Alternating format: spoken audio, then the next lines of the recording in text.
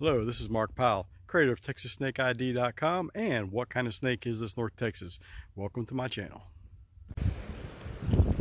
Okay guys, I'm not sure how well this is going to come out uh, because of the wind, but what I have here is a really nice looking blotched, well used to be blotched, it's now a plain-bellied water snake.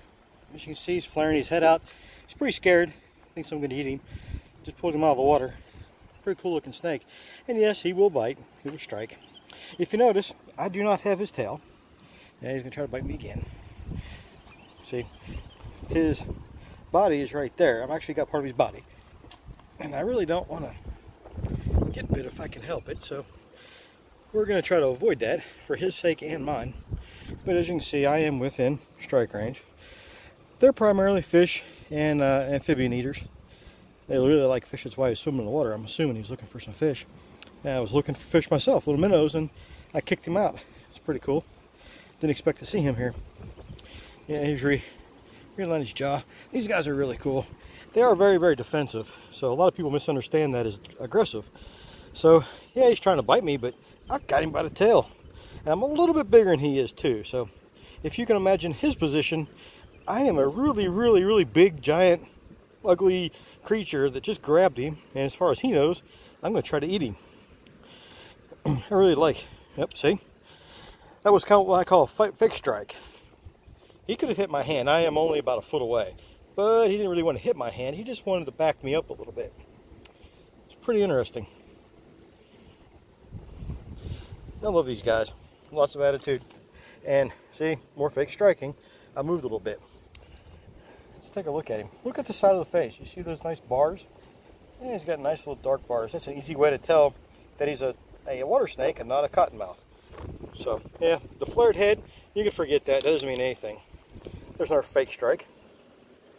He's just trying to freak me out. He doesn't really want to bite me. I've noticed on this guy's got something kind of neat.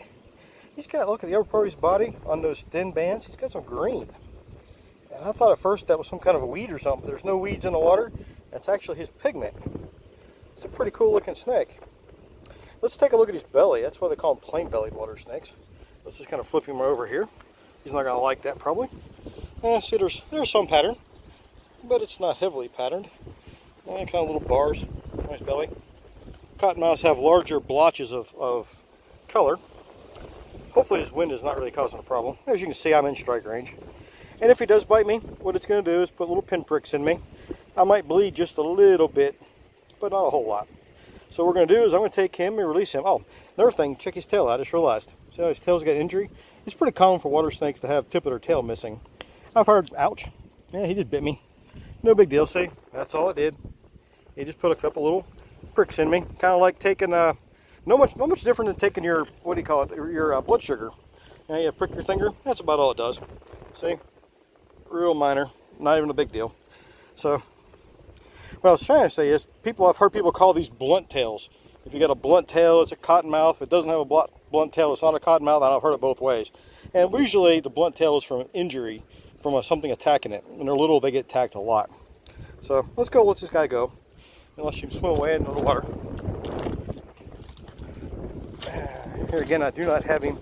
I'm not hurting him in any way. So here he goes.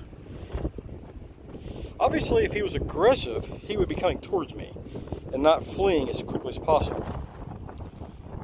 See, if I walk closer to him, yeah, he is going to leave. He does not want me anywhere near him. So he's going to try to find a place he can hide. He's right there by my foot. I think he went up under there, under that rock. So let's leave him alone. Thank you for joining me. Wow. It's about three feet deep crystal clear. Very cool part of the Paluxy River. Absolutely gorgeous. Up there you usually find some uh, uh, earless lizards. Lots of big soft-shell turtles in here. Other turtles. Just found a uh, plain-bellied water snake. Picked up a couple little bluegill. Pretty awesome.